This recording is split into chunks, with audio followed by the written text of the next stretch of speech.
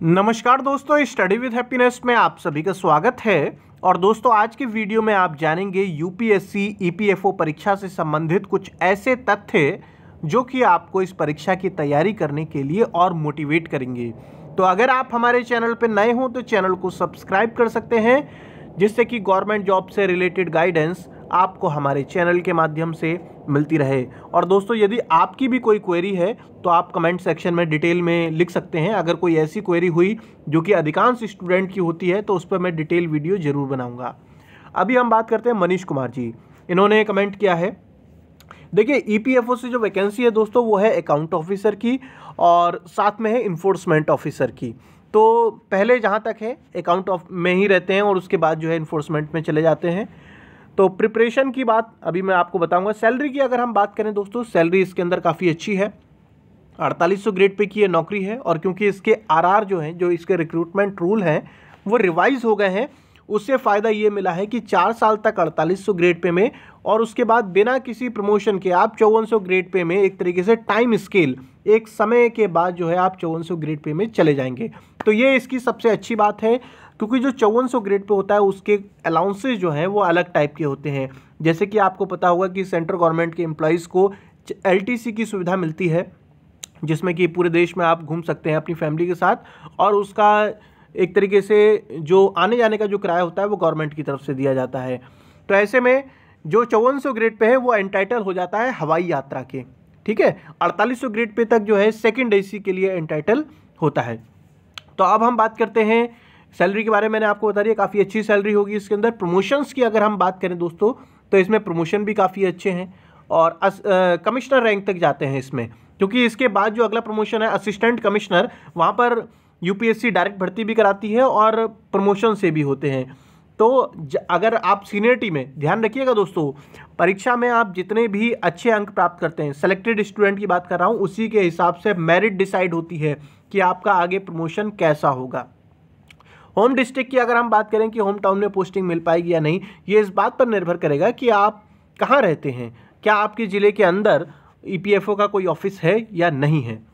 इसके अलावा ये पूछते हैं कि फाइनल सिलेक्शन कैसे हो, क्योंकि अब टाइम कम है। समय कम तो नहीं है इतना। देखा जाए तीन चार महीने जो है अभी भी आपके पास हैं।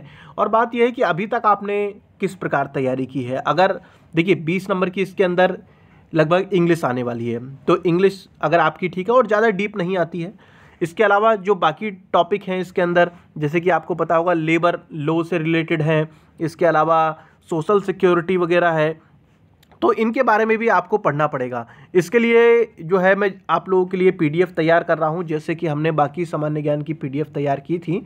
अगर आप ने अभी तक आपको नहीं पता है तो मैं बता देता हूँ, वीडियो के डिस्क्रिप्शन में आपको सब्जेक्ट वाइज सामान्य ज्ञान की पीडीएफ मिल जाएँगी। और ईपीएफओ के लिए खासकर, जैसे कि लेबर लॉ वगैरह है, इसके लिए भी हम जल्दी ही पीडीएफ तैयार करवा रहे हैं। ठीक है दोस्तों? और इसके अलावा आपको पता होना चाहिए कि ये जो परीक्षा है, पूरी तरीके से ऑब्जेक्टिव है, इसके अंदर डिस्क्रिप्टिव परीक्षा नहीं होगी आपकी, और सीधे उसके बाद इंटरव्यू होगा। इंटरव्यू के नंबर और आपके रिटर्न के नंबर मिलाकर आपकी फाइनल मेरिट बनने वाली है। और रिटर्न का वेटेज जो है, वो ज़्यादा है। पिछली बार पिछहत्तर प्रतिशत रिटर्न का वेटेज था, इस बार और बढ़ा दिया गया है, अस्सी परसेंट कर दिया गया है। तो ये भी आप लोगों के लिए अच्छी बात है। बस ये कहूँगा मैं दोस्तों कि आप जो भी तैयारी कर रहे हैं, जिस भी परीक्षा के लिए कर रहे हैं, वो ऐसा ना हो कि आप एक तरफ़ ऐसी परीक्षा की तैयारी कर रहे हो जिसमें मैथ बिल्कुल नहीं आती। और एक तरफ़ दूसरा एग्ज़ाम ऐसा पकड़ लें जिसके अंदर मैथ आती है। जैसे कि एसएससी की बात करें तो मैथ और इंग्लिश वालों का दबदबा रहता है।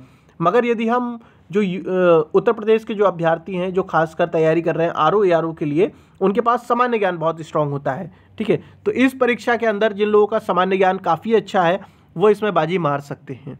और रही बात, इन्होंने ये भी पूछा है कि इंग्लिश वगैरह से रिलेटेड कि अगर इंटरव्यू होता है तो उसमें हम इंग्लिश लैंग्वेज में करें या हिंदी में। देखिए दोस्तों, आपको अपनी बातों पर यकीन होना चाहिए कॉन्फिडेंस होना चाहिए। तो इसमें लैंग्वेज इतना मायने नहीं रखती है। और जब आप रिटर्न क्वालिफाई करके पहुँचेंगे तो ये बात भी है कि आपके पास नॉलेज तो होगी। जो आपको आंसर नहीं आता है, उसे आप ये बता दें कि नहीं आता। अगर आप गलत देंगे तो कोई भी इंटरव्यूर होगा, उसका दिमाग ख़राब हो सकता है। इसलिए यही है इंटरव्यू की सलाह। अगर आपको नहीं आता, सारे सवाल नहीं आते तो मना कीजिए। गलत सवाल देंगे तो और नंबर कम पड़ जाएँगे। ठीक है दोस्तों? और, आप लोगों के लिए एक सुविधा और स्टार्ट कर रखी है कि अगर आप मुझसे सीधे फ़ोन पे बात करना चाहते हैं तो वो भी आप कर सकते हैं। वीडियो के डिस्क्रिप्शन में तरीका बताया गया है। जल्द मिलेंगे दोस्तों हम नेक्स्ट वीडियो में। तब तक के लिए जय हिंद, जय भारत।